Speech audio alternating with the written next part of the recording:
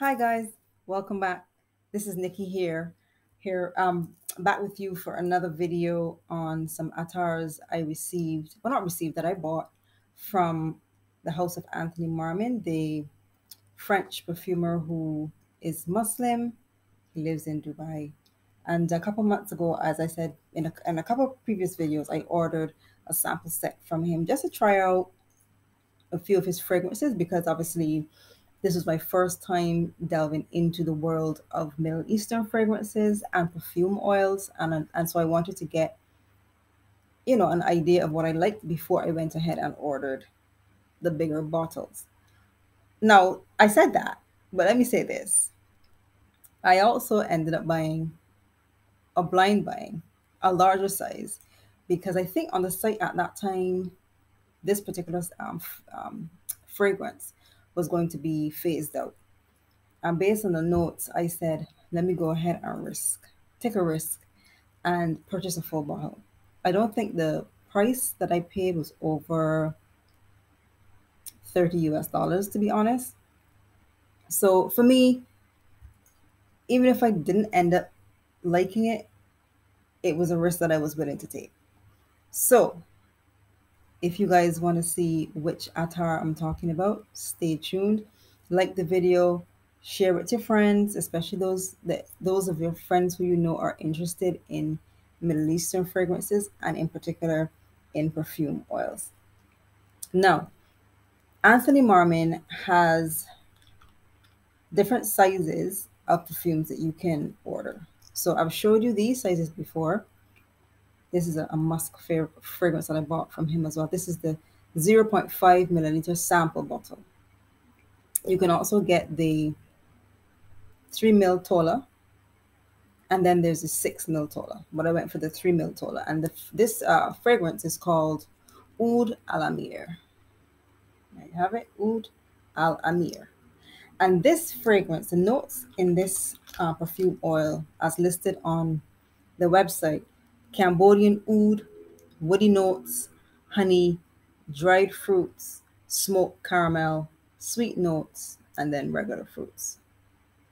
So I'll, I'll just open it and show you what it looks like. So you take the cap off and then it comes with a little dropper. Ugh, don't let me spill, don't let me spill. And the juice is on the dropper and you dab, dab, dab, dab, wrists, elbows, clothes, wherever. And the juice is a beautiful, almost honey consistency. It's very thick. You can see this. It's very thick. And it's golden, a nice golden color. So for me, this fragrance is listed as for men and I would agree with their description. The other the other um attars that I bought, they're listed for men, but they're sweet enough that women I find I think can wear them. This one for me, even though it says it has sweet notes in it, I don't get a lot of sweet from this. Now on first application, the oud hits me right in my face. The Cambodian oud, and it definitely has an anim- animalic um, smell to it.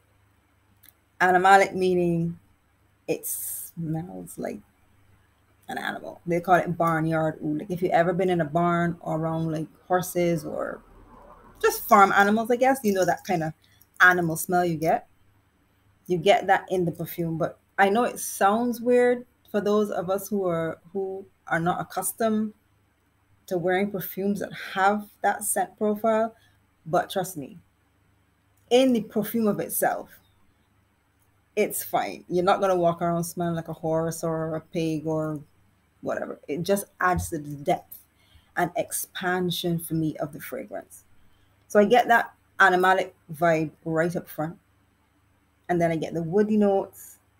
And for me, I get this smoky, almost like a dried, smoky incense um, smell coming through most of all. And in the background, you have slightly sweet notes. For me, I don't get the caramel at all.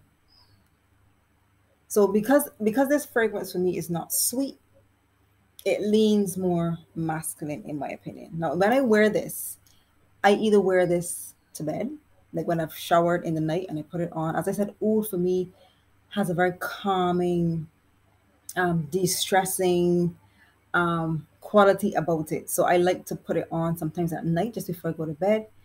But if I'm wearing it during the day, I would put this on first and then I'd go over this, layer this with another fragrance, maybe a fruity a fruity floral fragrance or an amber floral fragrance, something that has a little bit more sweetness to it. Um, and the, the combination of that that deep, dark, skanky oud and the nice, sweet florals and fruits is absolutely amazing. So, guys, Oud Al Amir, the oh, before I forget, longevity on this is absolutely amazing. This is over 12 hours on my skin. And I kid you not, over 12 hours on my skin. Um, if I put this on at night, when I wake up in the morning, it's there. Like it never went anywhere. On my clothes, it, it, it will be there for the whole week. Until I wash my clothes, I can smell this oud in the material. Um, the projection for this one, I would say arm's length, or maybe slightly over arm's length, depending on, I guess, how much you apply. For me, this doesn't project as as far as, say, the Chic Al Ferenzi or the Oud Sam. I did videos on those previously. You can go back and check those out. It doesn't it doesn't explode as much as those. This one sits a little closer, but it's absolutely beautiful. I just wish it had a little bit more sweetness in it for a female. But for a guy, this would be perfect because I guess most guys, well, I assume, don't necessarily want to smell sweet. So, Oud Al Amir, check out the house of Anthony Marmin. Get your nose on some of his attars. They're absolutely beautiful. If you're accustomed to the Western style um, of perfumery, the, the Middle Eastern style may take a little a little bit getting used to in terms of the fragrances, how they appear, how they how they're packaged, how you apply, how they smell. Um, but trust me, guys, once you get your nose into these Middle Eastern fragrances, you are not going to regret it. So thanks, guys, for watching. Stay tuned for more videos. As I said before, like the video, share um, with your friends, and drop me a comment down below on what Middle Eastern attars have you been trying recently? So this is your auntie signing off. Bye, guys.